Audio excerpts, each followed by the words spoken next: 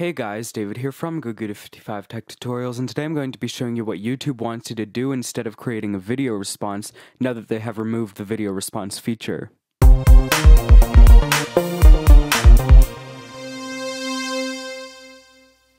Okay, so let's get started. So for those of you who don't know, on September 12th, 2013, YouTube actually removed the video response feature as they say it was a really unpopular feature. So basically what they want you to do now is they want you to paste the link of the video that you're responding with into the comments of the original video. Now, naturally, YouTube doesn't actually allow you to paste links, so there's just one specific part that you need to paste. So I have two of my videos up here. I have this one here, how to use the Neptune Vocal Synth in Reason, and how to use Autotune in graphical mode.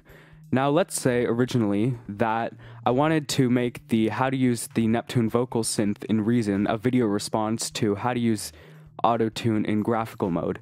Now, what YouTube would want me to do is they actually want me to copy just the slash watch part of the URL of the video I want to respond with.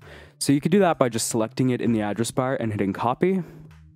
Then going over to the video that you want to submit your video response to, and just pasting the slash watch link into the comments.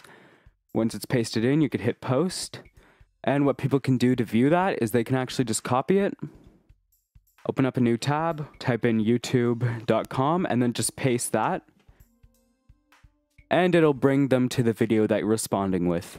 So thanks for watching and I hope I helped. If you like this video, don't forget to click the like button down below. Don't forget to rate, comment, and subscribe for more, and don't forget to check out my Facebook and Twitter page. Also, don't forget to check out my website at www.goguda55techtutorials.com. All the links are in the description below.